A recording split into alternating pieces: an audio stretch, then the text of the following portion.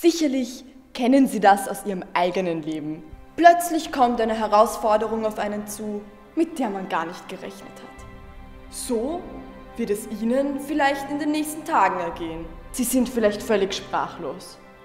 Sie sollen für das Amt des Bundespräsidenten kandidieren. Dieses Amt ist ein wunderschönes Amt.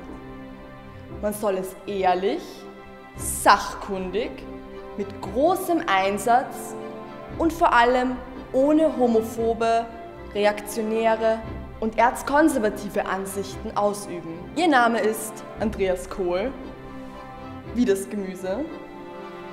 Sie sind nicht mitschuld an dem Milliardengrab von Schwarz-Blau, an Skandalen, für die die nächsten Generationen noch massiv bezahlen müssen. Ihre Idee war es 1995 nicht, die Auslieferung eines Magazins zu verhindern, das einen damaligen prominenten Kardinal des sexuellen Missbrauchs an Kindern überführt hat. Sie sind in den letzten Jahrzehnten nicht durch erzreaktionäre Positionen gegenüber Lesben und Schwulen aufgefallen. Sie liebäugeln nicht mit einer rechtsextremen Partei und ihren Ansichten. Sie sind ein Mann oder auch eine Frau aus der Mitte des Volkes.